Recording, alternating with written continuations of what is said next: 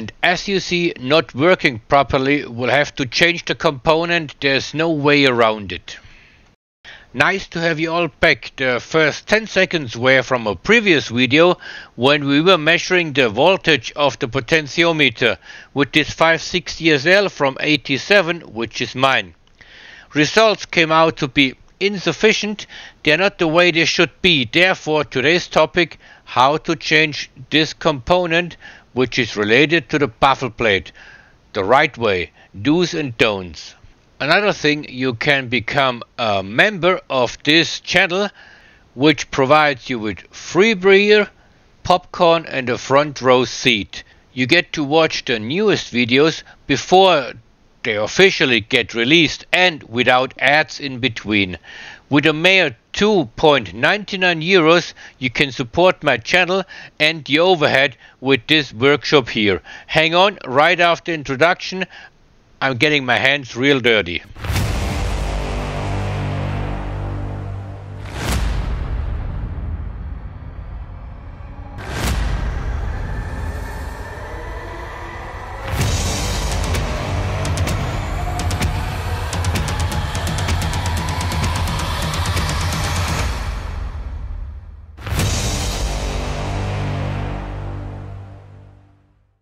Here we go, two potentiometers in a price range of a 20 euros to a 200 euros like this one here. Low quality, you can tell right away. The touching tips of the brushes are tiny, cowboy soldering chops. Please see enlarged picture on the left hand side. This one here is a Bosch. See where the brushes are touching, there is high quality with high conduction brass pins in comparison to these probably tin tips. And since this is a quite important component of this key A Jetronic, I definitely recommend the Bosch spare part to avoid trouble and rough idle in the future. Off we go, let us get started. Position of the baffle plate potentiometer with a 560SL of 87 is right here. Before you start, step 1, disconnect the battery first of all. Then pull at that plug here with 3 pins. Right here, do it gently, do not break anything.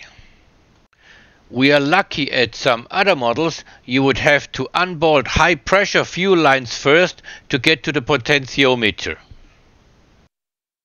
When you have a M103 engine, you would have to remove many pipes prior to this job. Next step, take a felt marker and mark the position of the old potentiometer because you can alter the position with two screws to change the response of the baffle plate. See what I mean?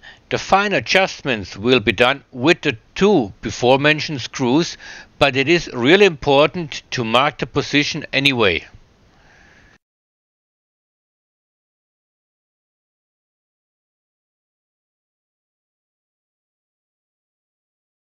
Next step, take a small Phillips and gently remove the covers of the screws. The old plastic covers will probably brittle. We will replace them afterwards with new ones.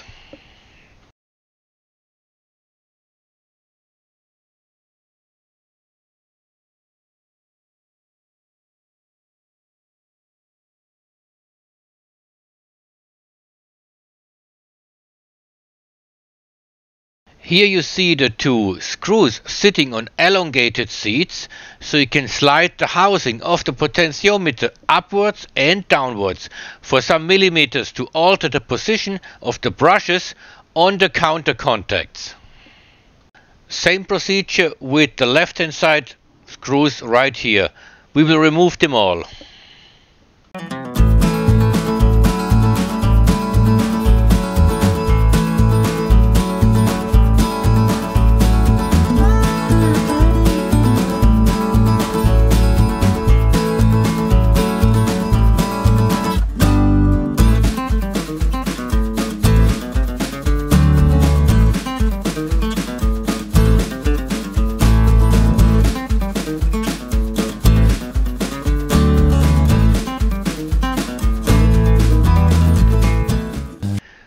Well, we have now unbolted the component, lift it off carefully, do not slide it off, but lift it off.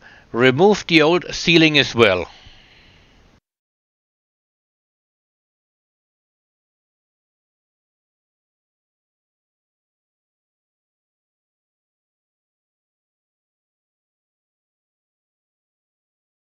This here is the old one. I will show you a blow-up picture right away.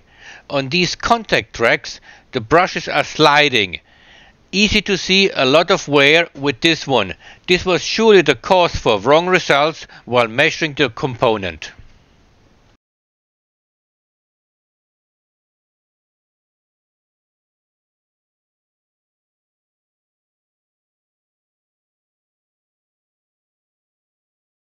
Next step, we now carefully put on our high-end component to its place. The rubber seal comes with the spare part. See the text marker? Can you see it? Now put it on horizontally and carefully. Don't shake it, make sure you do not damage or touch the inside of the component.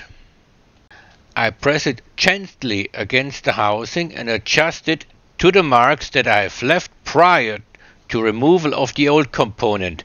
I now take the screws but tighten them only semi to allow the component to be brought to exact the same position as the old one before.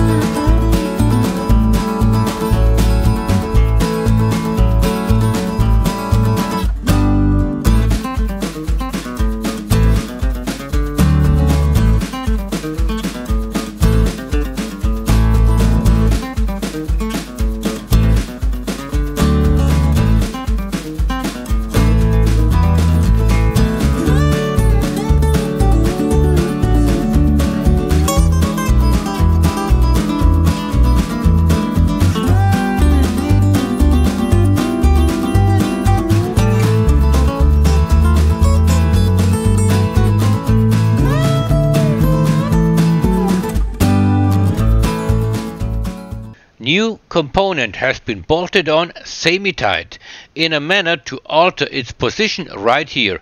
I have connected my multimeter to pin 1 and to measure tension while engine is running at around 80 degrees Celsius or 170 Fahrenheit. Disconnect or switch off radio, lights, footwell illumination, etc. We will need some 0.7 volts. To get there, we need to manually alter the position of the component. All other electrically consuming things, switch them off. To have an accurate determination of your idle rotations, do it with a multimeter and the X-Test socket box. There is a video about this topic in English as well on this channel, because it has to be measured precisely. We now start the engine. We now alter position of component to change position of brushes touching the counter contacts. Press downwards to decrease tension engine has some 80 degrees Celsius. The display shows some 0.69 to 0.71 volts. This is ideal. This is what we want. I earned myself a beer for sure. I now tighten the screws.